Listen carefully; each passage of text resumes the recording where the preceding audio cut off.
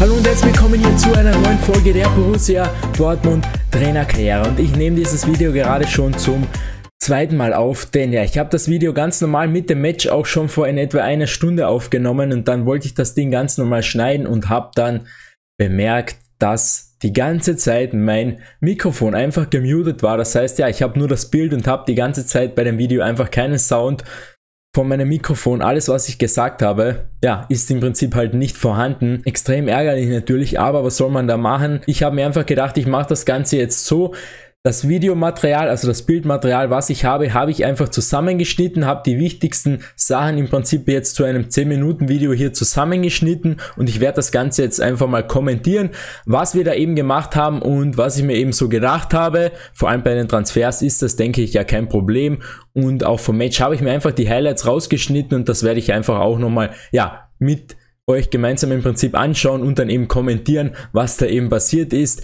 Was soll ich machen? Es geht nicht anders, echt ärgerlich, aber ich dachte mir, ich will diese Folge natürlich trotzdem irgendwie online bringen und ja, deshalb bleibt uns hier eigentlich nichts anderes übrig, außer eben diese Möglichkeit. Ich würde mich natürlich trotzdem freuen, wenn ihr hier dran bleibt, denn es waren echt ein paar nice Transfers und so weiter dabei und den Supercup haben wir ja auch gespielt, von dem her, ja, machen wir das Ganze jetzt so und ich würde sagen, starten wir direkt rein. Und zum Start der Folge haben wir hier ein Angebot reinbekommen für Delaney, den wollte ich ja sowieso verkaufen, von dem her hat das gut gepasst, habe ich ihn hier für 30 Millionen verkauft und ja, für Götze haben wir auch nochmal 20 Millionen bekommen, den habe ich ja in der letzten Folge schon verkauft, da konntet ihr eben die Vorschläge in die Kommentare schreiben. Und ja, das war dann der Start der Folge. Dann bin ich hier rübergegangen zum Kalender, denn da gibt es auch hier direkt jetzt die erste Abstimmung, denn da konntet ihr abstimmen, beziehungsweise könnt jetzt eben abstimmen, was wir in der nächsten Folge spielen werden. Hier links seht ihr das Supercup-Spiel, was wir eben in dieser Folge noch gespielt haben. Und dann starten wir in der nächsten Folge rein mit der Bundesliga. Das Match gegen Augsburg ist ein Heimmatch, das heißt, das werden wir simulieren. Ich werde das so machen wie in der Realkarriere, dass wir großteils die Heimmatches simulieren werden, außer halt die Top-Matches und die Auswärtsmatches werden wir halt ja hin und wieder halt spielen, beziehungsweise ja jede Folge dann halt ein Match machen. Und da könnt ihr jetzt eben abstimmen, sollten wir das Match gegen Köln oder gegen Union Berlin in der nächsten Folge spielen. Das ist hier die erste Abstimmung und ja auch die einzige und machen wir direkt weiter. Das war eben hier der zweite Punkt, was ich eben dann gemacht habe habe. Dann sehen wir hier Dalia Fico, habe ich mir dann auch geholt, denn in der letzten Folge haben wir ja Guerrero verkauft an Valencia und ja, deshalb brauchen wir einen neuen Linksverteidiger und das habe ich ja in der letzten Folge schon gesagt, dass wir uns eben Dalia Fico holen werden und ja, das habe ich dann hier gemacht mit einem 83er Rating für, ich glaube, wir werden es gleich sehen und hier seht ihr es dann für 39 Millionen wurde das Ganze dann von uns akzeptiert, war etwas teurer als erwartet, aber es ging einfach nicht billiger und von dem her haben wir uns ihn dann eben geholt und hier oben seht ihr auch, hatten wir dann nur noch eine Million Transferbudget übrig. Das Ganze habe ich allerdings ja nicht wirklich bedacht und bin dann einfach in die ja, Vertragsverhandlungen reingegangen. Und ja, dann seht ihr hier oben, hatten wir im Prinzip halt wirklich gar kein Geld mehr übrig. Ich habe einfach alles versucht, was nur ging. Allerdings, ja, war das dann einfach zu wenig und das hat dann leider einfach nicht gereicht und deshalb hat er hier gesagt, er benötigt noch etwas Bedenkzeit. Das heißt, wir haben uns ihn dann nicht direkt verpflichtet, aber es hat dann ja später doch noch hingehauen, aber zu dem kommen wir gleich. Dann habe ich hier die zwei Stürmer gezeigt, die ich mir rausgesucht habe, denn ihr habt ja in der letzten Folge ein paar Backup-Stürmer in die Kommentare geschrieben und da habe ich mir dann Isaac und Muni rausgesucht, denn das waren eigentlich die zwei besten, wie ich fand und ja, ich habe dann einfach mal geschaut und beide gingen halt nicht verpflichtet möchten, weil sie eben vielleicht gerade erst gewechselt sind, was auch immer. Und deshalb blieb uns nur eine Möglichkeit und zwar die Freigabesumme zu bezahlen. Und dann habe ich einfach mal hier bei beiden die Freigabesumme gecheckt. Und dann haben wir gesehen, dass Isaac eben hier eine Freigabesumme von 25 Millionen hat und Munir hatte eben eine Freigabesumme von 37 Millionen. Ist zwar ein etwas besserer Spieler, glaube ich, vom Rating her, allerdings ja, war das dann für mich doch relativ klar, dass wir uns eben Isaac holen werden, der ja schon mal bei Dortmund war, von dem her realistischer war es dann eben auch. Und ja, deshalb haben wir uns dann eben Später noch in der Folge Isaac geholt, weil er einfach eben ja billiger war von der Freigabesumme. Dann kurz darauf kam ein Transferangebot für Akanji rein, den wollte ich ja auch verkaufen, nachdem wir uns in der letzten Folge Sanchez schon geholt haben. Und ja, 30 Millionen von Everton und da habe ich natürlich auch nicht lange gezögert, habe das Ding einfach dann ja schon nochmal verhandelt, aber habe das Ding dann angenommen, weil 30 Millionen nehme ich gerne noch mit. Und ja, dann kamen auch hier die Nachrichten rein, dass wir eben Götze und Delaney verkauft haben. Das heißt, das Geld war dann am Start und dann konnten wir uns endlich Dalia Fico holen, weil ja, wie gesagt, da war einfach vorher nicht das Geld vorhanden und dann habe ich eben hier das Angebot angenommen, 61.000 Gehalt. Dann hatten wir hier eben unseren dritten Spieler verpflichtet nach Isco und Sanchez, dann eben auch Dalia Fico als Linksverteidiger und dann hatten wir eben ja mehr Geld am Start und daraufhin habe ich dann eben die Freigabesumme bezahlt für Isaac, 25 Millionen waren es dann und ja, dann haben wir uns eben unseren Backup-Stürmer geholt, zurückgeholt zu Dortmund, haben dann auch nochmal verhandelt und ja, dann war auch hier der vierte Transfer abgeschlossen. Dann wurde es, glaube ich, auch schon Zeit für das Match, also für den Supercup und in das sind wir dann direkt mit unserer besten Elf reingestartet, also direkt mit Isco, Sanchez und Dalia Fico in der Startaufstellung und ja, wir haben das Ganze nochmal auf legendär gespielt, wie auch schon in der letzten Folge. Dort haben wir uns ja relativ leicht getan noch. Allerdings habe ich ja dann folgendes gemerkt nach der letzten Folge. Und zwar habe ich vor der letzten Folge einmal noch ein Match auf Ultimativ gespielt, um halt einfach mal zu testen, wie schwer es wirklich ist. Dort hatte ich keine Chance. Dann habe ich ein Spiel auf Ultimativ gespielt mit den mit verstellten Reglern. Dort ja war das auch noch relativ schwer und deshalb habe ich dann gesagt, wir gehen runter auf Legendär. Allerdings habe ich dann, als ich auf Legendär runtergestellt habe, nicht die Regler zurückgestellt. Das heißt, ich habe mit den leichteren Reglern auf Legendär auch noch gespielt. Das heißt, das war wahrscheinlich der Grund, warum es dann in der letzten Folge wirklich so einfach war und wir dann ja deutlich mit 3 zu 0 eben gewonnen haben. Und deshalb habe ich natürlich hier für dieses Match dann wieder auf Legendär gespielt. Allerdings dieses Mal mit den richtigen Reglern, also mit den ja Standardreglern eben.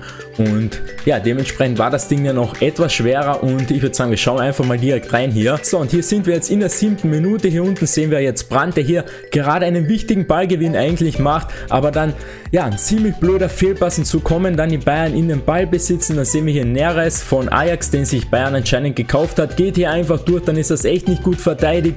Die kommen hier irgendwie durch und Coutinho dann mit dem Abschluss und dem 1 zu 0 für die Bayern leider ja, war einfach nicht gut verteidigt. Zuerst schon der blöde Fehlpass von Brandt und ja, dann war das hier die 1 zu 0 Führung nach gut 10 Minuten hier.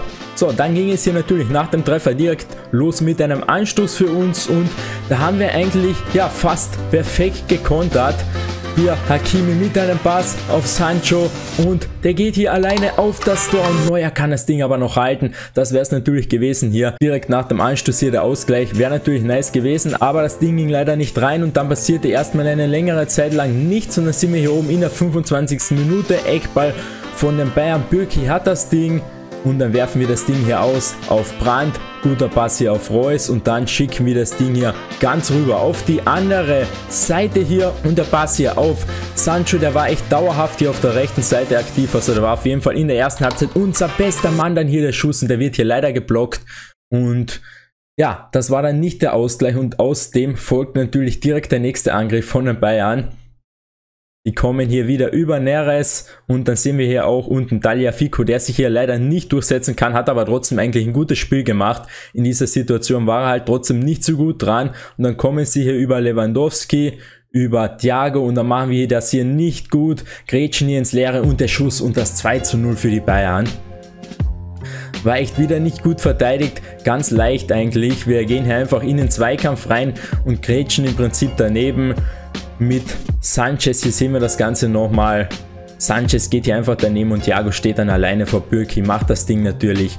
War schon auch stark gemacht, war echt, ja, auch nicht so leicht zu verteidigen, aber kann man sicher besser machen. Und dann waren wir hier eben mit 2 zu 0 in Rückstand nach 30 Minuten. Von dem Zeitpunkt dann wurden die Bayern eigentlich immer stärker und wir hatten dann am Ende der zweiten Halbzeit eigentlich gar keine Chancen mehr. Und dann kommen sie hier nochmal nach 40 Minuten hier, hier über den Flügel, da kommt die Flanke von Thiago und Bürki fängt den hier nicht, sondern wehrt den hier ganz komisch ab und dann kommt der Ball hier nochmal in die Mitte und Coutinho mit seinem zweiten Treffer 3 zu 0 Rückstand nach 40 Minuten. Das war natürlich schon etwas belastend, nachdem wir vor allem in der letzten Folge uns noch so leicht getan haben. Da waren natürlich auch die Regler verstellt, wie gesagt, allerdings trotzdem hier plötzlich 3 zu 0 in Rückstand, mit dem hatte ich natürlich nicht gerechnet. Bürki ja, war da natürlich nicht ganz unbeteiligt an dem Treffer, nachdem er den ja ziemlich blöd abgewehrt hatte. 3 zu 0 Rückstand dann und das war dann natürlich auch der Halbzeitstand. Mit dem sind wir dann in die Halbzeit gegangen und ja, dann sehen wir hier nochmal die Statistiken von der ersten Halbzeit. Eben wir hatten zwei Chancen und ein paar Angriffe, aber viel war da dann echt nicht am Start und auch nur 35% Ballbesitz. Die Bayern hatten im Prinzip alle ihre Chancen gemacht, waren dann auch vor allem am Ende der Halbzeit echt viel stärker und da habe ich mir dann echt schwer getan. Das heißt, es musste hier eine richtig starke zweite Halbzeit jetzt dann kommen und wir sind hier eigentlich direkt relativ gut reingestartet, direkt nach dem Anstoß hier auf Sancho mal wieder, der mit dem Außenriss hier und Haaland kommt da leider nicht dran, aber das war zumindest mal hier ja relativ guter Start hier in diese Halbzeit rein und hier dann auch nochmal die Flanke, war dann aber leider abseits hier, aber zumindest war das mal echt ein guter Start hier in die Halbzeit rein. Ja und dann nach gut 10 Minuten kamen auch hier erstmals wieder die Bayern in ja Ballbesitz eigentlich, die hatten bisher hier gar keine Chance. Und dann versuchen sie es hier mal mit einem Angriff, aber dann hier Sancho und Witzel gehen hier richtig gut drauf, holen sich den Ball, da sind wir dann immer besser ins Match reingekommen auf Reus und dann schicken wir hier Haaland durch, der kommt hier vorbei, setzt sich gegen Süle durch und macht hier den Anschlusstreffer beziehungsweise zumindest mal das 3 zu 1 und das war dann hier echt ein richtig guter Zeitpunkt hier nochmal zurückzukommen, 60. Minute, da haben wir auf jeden Fall dann nochmal gehofft, dass hier noch was geht. Und wir sind dann immer besser reingekommen, wie gesagt, hier wieder der ganz sichere Ballgewinn durch Hummels. Und dann schicken wir wieder mit Fico, schicken wir Brand auf dem Flügel, 67 Minuten sind hier dann um und dann kommt hier, glaube ich, die Flanke. Jawohl, die Flanke war wieder eine gute Möglichkeit, aber ja, auf Sancho, die Flanke war dann natürlich nicht die beste Option. Aber wir bleiben hier, glaube ich, noch dran bei dieser Szene, denn da gab es dann direkt, glaube ich, die nächste Chance, wenn ich mich nicht täusche.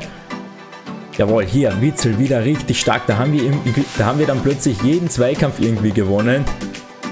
Aber uns haben halt immer noch zwei Tore gefehlt. Dann wieder hier auf Haaland und Haaland mit dem Schuss dann und Neuer wehrt das Ding auf den Pfosten ab. Das hätte eigentlich der Anschlusstreffer sein müssen wirklich richtig stark gespielt, aber leider ja, dann halt nicht der Treffer. Und auch wenn wir dann immer mehr Chancen hatten, wurde die Zeit halt trotzdem immer knapper. Hier sind wir schon in der 78. Minute, hier mal wieder der Ballgewinn. Es war echt eine gute zweite Halbzeit, aber es fehlten halt einfach, ja, noch immer zwei Treffer. Dann hier vielleicht über Isco schicken wir wieder Haaland durch, richtig gut gemacht. Und dann ziehe ich hier nochmal irgendwie ganz komisch in die Mitte, anstatt dass ich hier einfach durchgehe. Keine Ahnung, was ich hier gemacht habe hätte ich einfach durchgehen müssen und dann wäre das hier ziemlich sicher der Anschlusstreffer gewesen. Dann sehen wir hier oben schon, waren wir schon in der 90. Minute. Danach ging nichts mehr, nach dieser Chance gerade eben. Und dann, ja, war das Ding dann eben vorbei. Jetzt sehen wir die letzte Möglichkeit. Nochmal hier der Pass raus auf Isco. Nochmal zurück auf Sancho, der dann mit der Flanke, aber das war dann auch nicht mehr ganz so gefährlich. Und dann war das Ding hier vorbei. 3 zu 1 haben wir dann hier dieses Supercup-Finale leider verloren, aber ich muss sagen, auch wenn, die zwei, auch wenn die erste Halbzeit echt nicht gut war und wir dort mit 3 zu 0 in Rückstand waren, war die zweite Halbzeit dann echt nochmal richtig stark eigentlich. Die erste Halbzeit war dann halt einfach daran schuld, dass wir halt ja, einfach keine Chance mehr hatten hier in der zweiten Halbzeit, weil da waren wir auf jeden Fall besser. Bayern hatte auch in der zweiten Halbzeit keine einzige Torchance eigentlich und ja, hat dann leider nicht gereicht. Das war einfach in der ersten Halbzeit halt zu wenig, aber auf jeden Fall ja, wie gesagt, haben wir dann in der zweiten Halbzeit doch noch ein richtig gutes Spiel gemacht und das ist dann auf jeden Fall doch nochmal wichtig, auch wenn wir ja verloren haben. Ja, aber ist halt dann doch nur der Supercup, von dem her ja, ist das halb so schlimm. In der nächsten Folge werden wir, wie gesagt, unser erstes Bundesligaspiel machen. Hier könnt ihr hier oben abstimmen, ob wir das Ganze gegen Köln oder gegen Union Berlin machen sollten. Und ja, das war's dann auch schon von dieser Folge. Wir haben nach diesem Match dann auch nichts mehr gemacht, weil die Folge dort an der Stelle eigentlich eh schon lang genug ging. Und ja, deshalb beenden wir auch hier jetzt diese etwas andere Folge. Was ich noch gesagt habe, ist eben, dass wir eben in der nächsten Folge auch das Transferfenster wahrscheinlich beenden werden. Denn wir haben eigentlich alle Spiele geholt, die wir wollten. Und ja, unseren Backup-Torhüter, den werden wir natürlich noch holen. Und vielleicht Valverde, falls das Geld übrig bleibt. Aber mehr wird dann auch, denke ich, nicht mehr passieren in der nächsten Folge. Das Match werden wir spielen. Und das war es dann auch hier von dieser etwas anderen Folge. Ich hoffe, euch hat das Ganze trotzdem irgendwie halbwegs unterhalten ja, war eine etwas andere Folge, aber da kann man nichts machen. Ist halt, ja, so passiert, dass ich leider das Mikrofon gemutet hatte. Ich würde mich natürlich trotzdem über ein Like oder ein Abo freuen, falls ihr es noch nicht gemacht habt. Glocke könnt ihr auch gerne aktivieren und dann sehen wir uns am Mittwoch wieder bei einer ganz normalen Folge dann mit dem ersten Bundesligaspiel und bis dahin wieder schauen und reingehauen.